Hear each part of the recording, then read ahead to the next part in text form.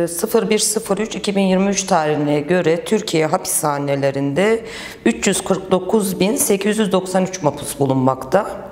Ee, bunlardan 41.614'ü e, e, tutuklu statüsünde gözükmekte. Biz e, bu sayın içerisinde hüküm özlerinde bulunduğunu düşünüyoruz. Bu tutuklu ve hüküm özlüler zaten direkt oy kullanabiliyorlar. Hükümlülerde ise e, taksirli suçlar ve kasıtlı suçlar ayrımına gidiliyor ve taksirli suçlardan hapishanede bulunan mahpuslar oy kullanabiliyor ama bizdeki e, verilerde hani e, paylaşılan veriler arasında, CT'nin paylaştığı arasında kaç mapusun hüküm özlü e, olduğu, kaç mapusun taksirli suçlardan hapishanede olduğu gibi ayrıntılı bilgiler olmadığı için hükümlü olan mapuslardan kaç tanesinin oy kullandığını e, maalesef e, bilememekteyiz. Yine çeşitli sebeplerle infaz erteleme e, koşullu salı verilme gibi sebeplerle dışarıda olan mapuslar da oy kullanabilecek. Ee, bizim şu an kesin verebileceğimiz sayı tutuklu mapus sayısı 41.614 mapus e, hapishanelerde oy kullanacaklar. Oy kullanmamız engellendiği bilgisi de gelmedi. Sadece tutukluların e, tutuklu e, seçmen listesini kontrol etmesi eğer listede yoksa bunlarla ilgili tıpkı dışarıdakiler gibi işte 2 Nisan'a kadar başvuru yapması, dilekçe vermesi ve kendini e, o bulunduğu kurumdaki tutuklu listesine alması gibi bir zorunluluk var. Ee, bize geçen seçimde mesela hiç e, olumsuz bir başvuru gelmedi. Hani basın ve diğer sivil toplum kuruluşları örgütlerinin e, raporlarına da belli noktalara takip ettik. En azından bizim bildiğimiz yansıyan bir olumsuzluk olmadı. YSK'nın hapishanelerde bulunan tutuklu ve hüküm hükümlere ilişkin e, hükümleri nasıl oy kullanacaklarına ilişkin kararı 14 Mart 2023 tarihinde resmi gazetede yayınlandı. YSK'nın e, bu kararına göre hapishanelerde sadece ve sadece kasıtlı suçlardan dolayı e, bulunan hükümler oy kullanamayacak. E, oy kullanacak olan tutuklu ve hükümler ise şöyle YSK kararına göre seçimlerde ceza infaz kurumlarında bulunan tutuklularla taksirli suçlardan hükümlü e, bulunanların oy kullanabilecekleri belirtildi.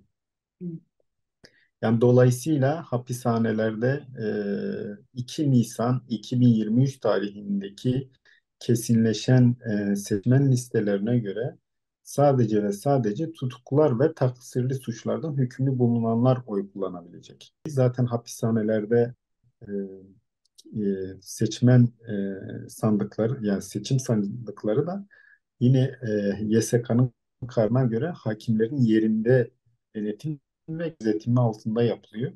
Dolayısıyla hapishanelerde bulunan e, tutuklu ve e, taksirli suçlardan oy kullanacak taksirli suçlardan olan hükümlüler bir seçmen gibi e, nasıl ki dışarıda biz oy kullanırken her seçmenin e, tutanaklara itiraz etme hakkı varsa hapishanelerde bulunan tutuklu ve taksirli suçlardan hükümlerin de e, seçim sonuçlarına yani tutanaklara itiraz etme hakkı var.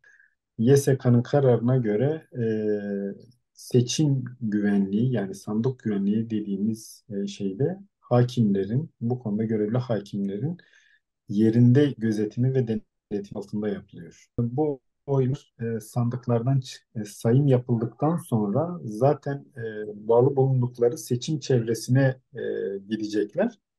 E, yani e, diyelim ki hapishanede kurulan sandığın sayım ve döküm işlemleri yapıldıktan sonra e, mühürlü torbayla e, oy toplama e, merkezlerine gidiyor. Orada tekrar sayıldığı için bu konuda herhangi bir e, şaibe olduğu takdirde orada da itiraz edilebiliyor.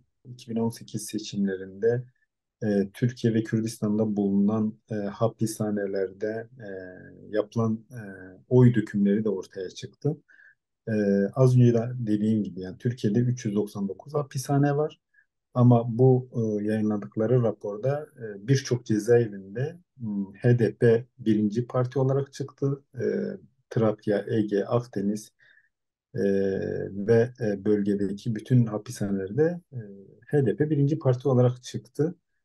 E, dolayısıyla bu ülkede ne kadar e, çok siyasi tutsak bulunduğunu bu haritadan da anla, anlayabiliyoruz. Cezaevlerinde büyük bir direniş söz konusu. Evet. E, oradaki tutsaklar ve mahpuslar e, oylarına e, sahip çıkıyorlar. Öyle söyleyeyim. Evet. Ne olursa olsun, ne pahasına olursa olsun oradaki e, seçim günü kendi oylarına sahip çıkıyorlar.